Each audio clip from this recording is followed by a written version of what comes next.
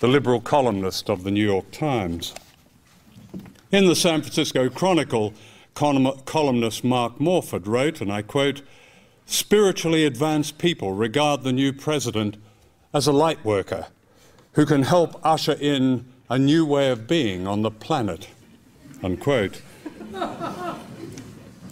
Tell that to an Afghan child whose family has been blown away by Obama's bombs, or a Pakistani child whose house has been visited by one of Obama's drones, or a Palestinian child surveying the carnage in Gaza caused by American smart weapons, which, disclosed Seymour Hersh, were resupplied to Israel for use in the slaughter, and I quote, only after the Obama team let it be known it would not object. The man who stayed silent on Gaza is the man who now condemns Iran. In a sense, Obama is the myth that is America's last taboo. His most consistent theme was never change, it was power. The United States, he said, and I quote, leads the world in battling immediate evils and promoting the ultimate good. We must lead by building a 21st century military to ensure the security of our people and advance the security of all people. And there is this remarkable st statement, and I quote At moments of great peril in the past century, our leaders ensured that America, by deed and by example, led and lifted the world that we stood and fought for the freedom sought by billions of people beyond our borders. Unquote. Words like these remind me of the colonel in the village in Vietnam as he spun much the same nonsense. Since 1945, by deed and by example, to use Obama's words, America has overthrown 50 governments, including democracies, and crushed some 30 liberation movements and bombed countless men, women, and children to death. I'm grateful to Bill Blum for his cataloguing of that. And yet, here is the 45th President of the United States having stacked his government with warmongers and corporate fraudsters and polluters from the Bush and Clinton eras, promising not only more of the same, but a whole new war in Pakistan, justified by the murderous cliches of Hillary Clinton, cliches like high value targets. Within three days of his inauguration, Obama was ordering the death of people in faraway countries, Pakistan and Afghanistan. And yet, the peace movement, it seems, is prepared to look the other way and believe that the cool Obama will restore, as Krugman wrote, the nation of moral ideals. Not long ago, I visited the American Museum of History in the celebrated Smithsonian Institute in Washington. One of the most popular exhibitions was called The Price of Freedom Americans at War. It was holiday time, and lines of happy people, including many children, shuffled through a Santa's grotto of war and conquest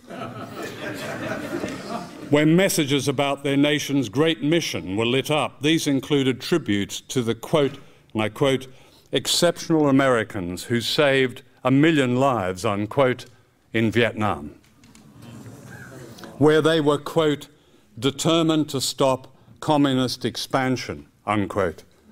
In Iraq, other brave Americans, quote, employed airstrikes of unprecedented precision, unquote.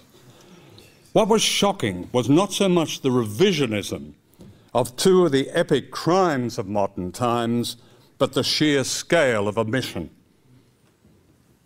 Like all US presidents, Barack uh, Bush and Obama have very much in common. The wars of both presidents and the wars of Clinton and Reagan, Carter and Ford, Nixon and Kennedy are justified by the enduring myth of exceptional America a myth the late Harold Pinter described as, and I quote, a brilliant, witty, highly successful act of hypnosis. the clever young man who recently made it to the White House is a very fine hypnotist, partly because it is indeed extraordinary to see an African American at the pinnacle of power in the land of slavery. However, this is the 21st century, and race, together with gender and even class, can be very seductive tools of propaganda. For what is so often overlooked and what matters, I believe, above all, is the class one serves.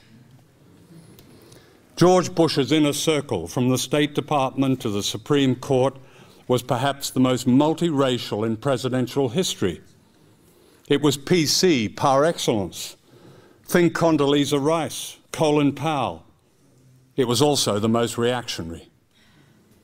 Obama's very presence in the White House appears to reaffirm the moral nation. He's a marketing dream. But like Calvin Klein or Benetton, he is a brand that promises something special, something exciting, almost risque, as if he might be radical, as if he might enact change. He makes people feel good.